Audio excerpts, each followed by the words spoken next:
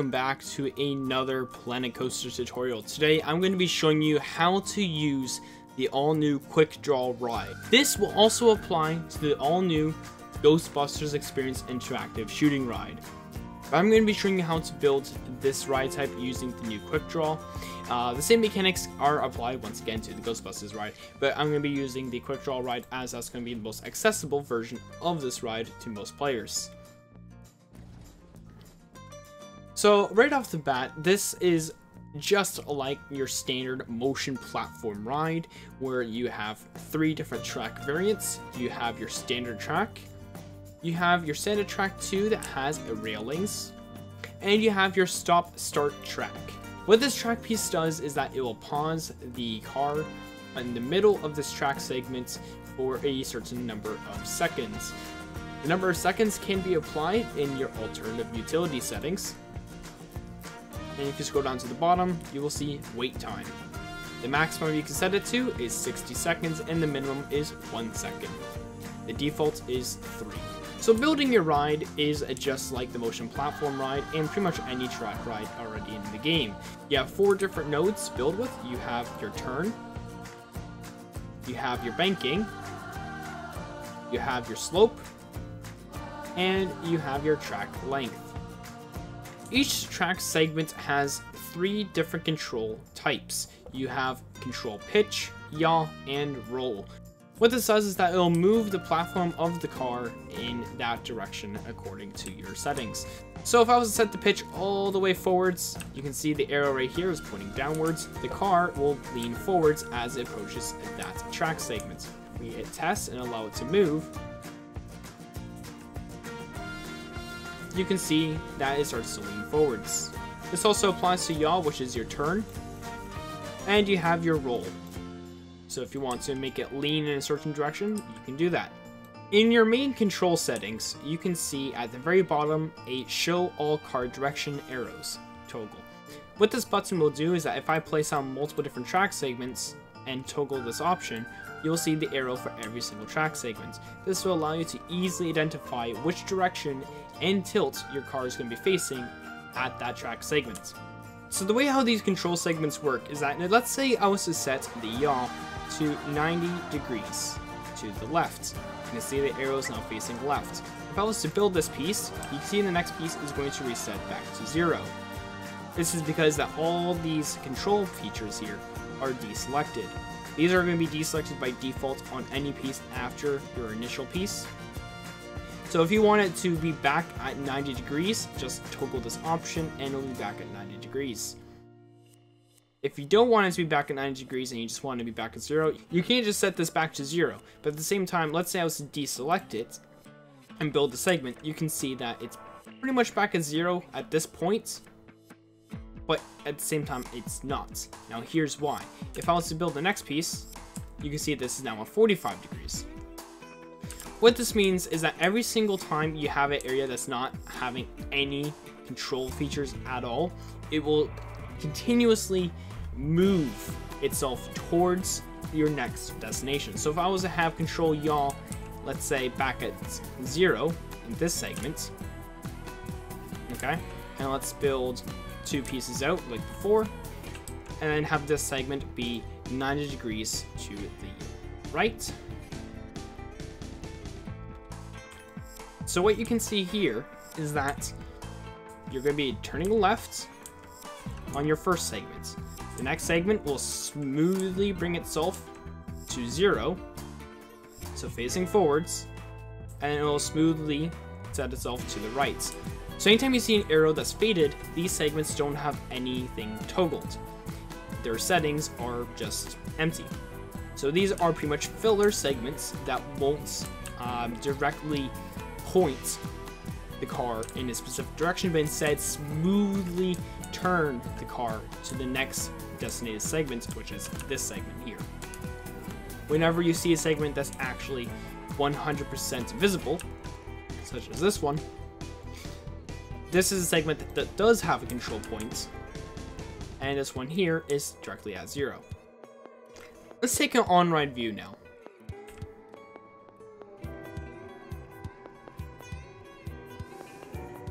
So you can see that we're moving to the left, and now we're smoothly starting to look forwards.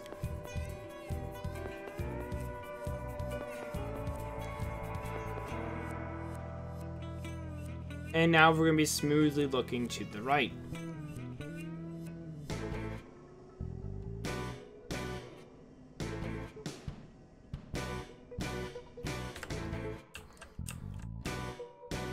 Now, let's have this segment here deselected from its control points, so that way it will smoothly transition between here. Let's take a look at the difference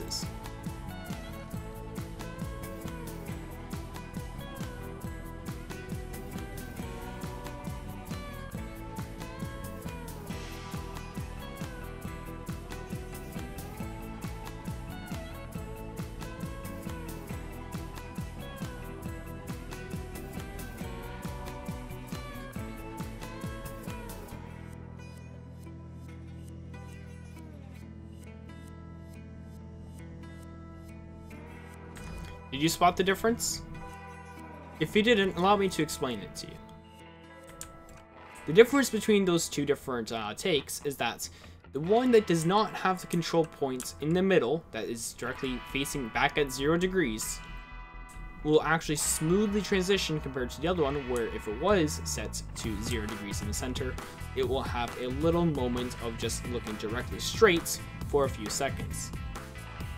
So if you want a whole section of your track to smoothly transition, make sure that you have those smooth transition points where you don't have any control points set in the middle. Now that you understand the basic idea of the movement of the car, let's move into the actual targets.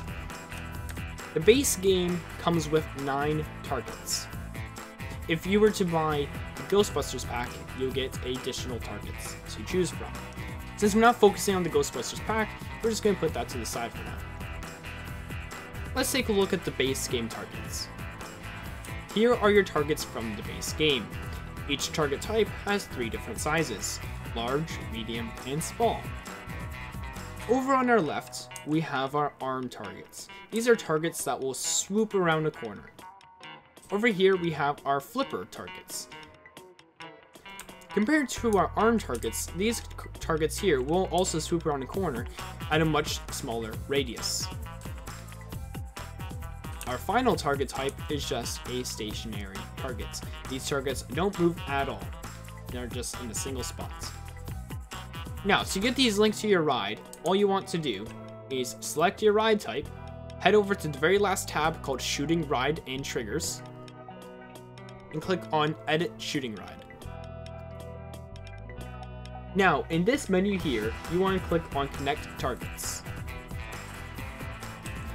Selecting targets is easy. Just like selecting objects, holding shift will allow you to select multiple objects at once when you click on them, and holding control will allow you to deselect them.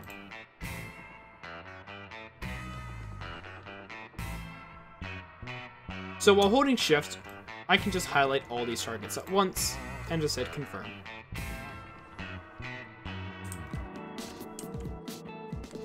Now we're going to edit the trigger sequence.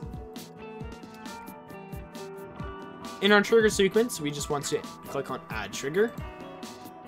Here is a trigger point. Our trigger point here, we just move it to wherever we want the trigger to be activated on the track. Let's say right here the moment we turn left. Now we're going to connect an object. So over here in the corner, we have 16 available triggerable scenery. This is the number of triggable objects that are currently in your map. Over on the left here, I have an example, so uh, this is where the action number is coming from. But over here on our right are the ones that we want to use for this ride. So we're just going to select the targets that we want to be using. Let's use the far left one for now. So as you can see, it's now being moved to its neutral position.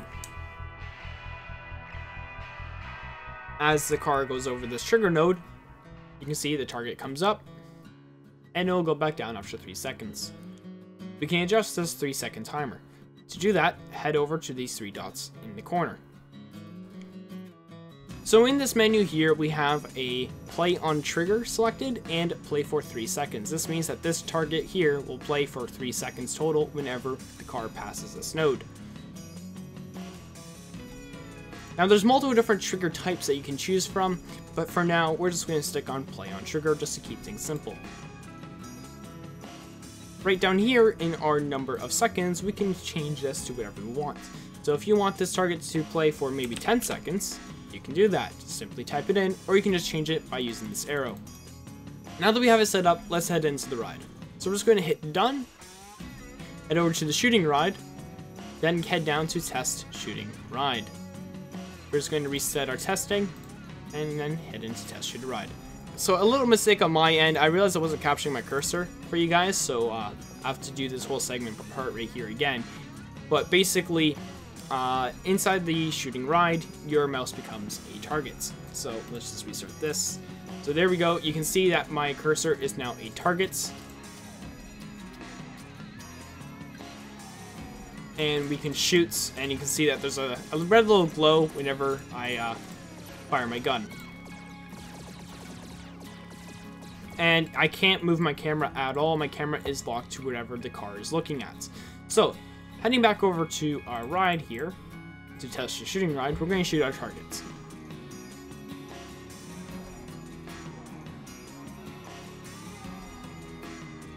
Our target comes up, and we shoot it, and we get 10 points. That's really it. It's that simple.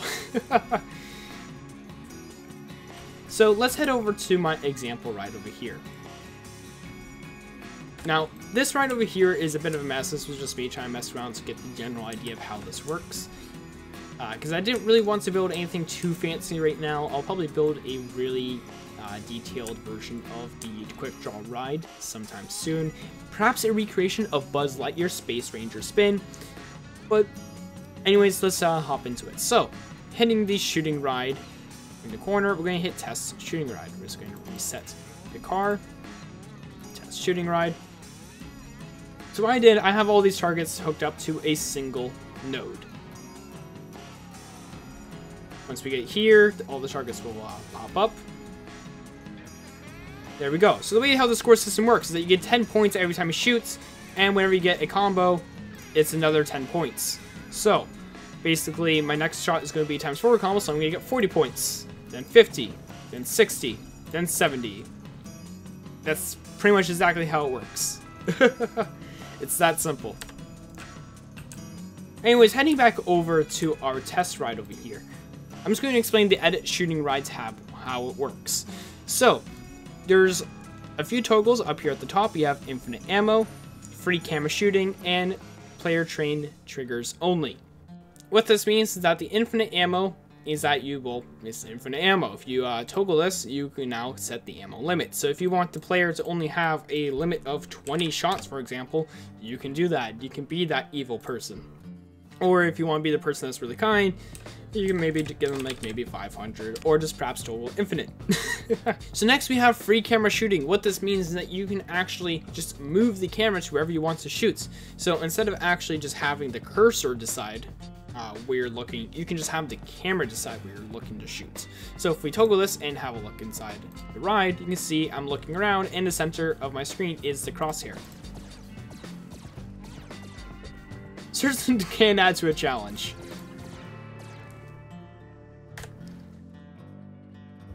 The next one is player train triggers only. This means that only the, the train that the player is in will trigger the actual events. Uh, I don't know if this is actually fully working or if this is just supposed to be something that is on when you're in open. But it seems to be triggering them anyways. I'm not entirely sure about this last toggle here. Anyways, the next part here is targets. Uh, these are obviously the targets that you've, uh, well, connected. So only these targets here will actually count for points whenever they're active.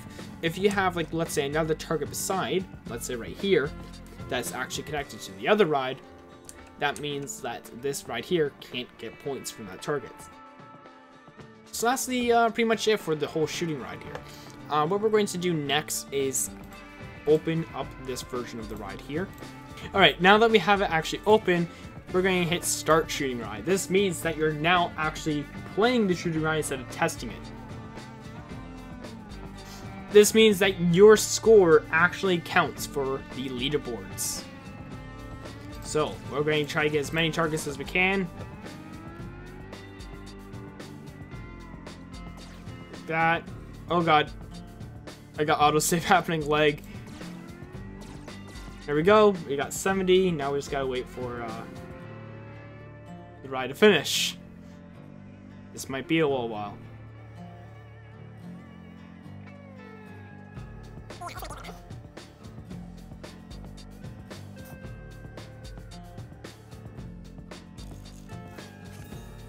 So you can see that you can actually get scored.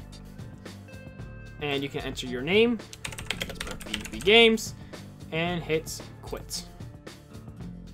So now you can see that there's actually a leaderboard on your ride. So that's it for the quick draw ride. Uh, real quick, we're just going to take a look at the Ghostbuster stuff. So right here, you can see right away it's pretty much exactly the same. In fact, it is the same. There's nothing different about it other than the uh, car type here. And uh, just like any old ride, you can easily change it out. So if I hit close, I can put Ecto 1, and then boom, there we go. Now this is the Ghostbusters ride. And heading over into our scenery tab and going by Ghostbusters instead of main game. Let's get rid of main game. Get rid of Back to the Future. We're not using Back to the Future. Oh my god, that's a that's a lot of filters. Uh, so this is these are all the Ghostbusters targets. You can see that there's quite a lot of them. They're uh, all ghosts, and all the ghosts has different animation types. This one moves back and forth. So there's a lot more movement with these targets compared to the targets that are in the base game where they're very basic, don't have any movement. The only movement they have are just appearing and disappearing. Where these targets here actually move and you have to aim onto them onto like a moving target basically. There's they're more difficult to hit, basically. And not all of them are ghosts. You can see that we got our Vins here. So yeah. And of course you got Slimer. but anyways, that's it for the Quick Draw and Ghostbusters Experience rides. I hope this tutorial has helped you and you are now able to create your very own quick draw ride with lots of detail or perhaps very minimal detail just to create a challenging uh, target course. Either way, I hope this helps you and uh, I really look forward to seeing any creations that you guys make. Feel free to send them in to me in the comments below or in my Discord channel. I'll gladly check it out and maybe even look at them on stream. But anyways, other than that, I will see you guys later. Thank you guys so much for watching. Be sure to subscribe for more content like this and become a channel member today to get exclusive perks and early access to my videos. Don't forget you can also join our Discord server where you can participate in channel events and giveaways.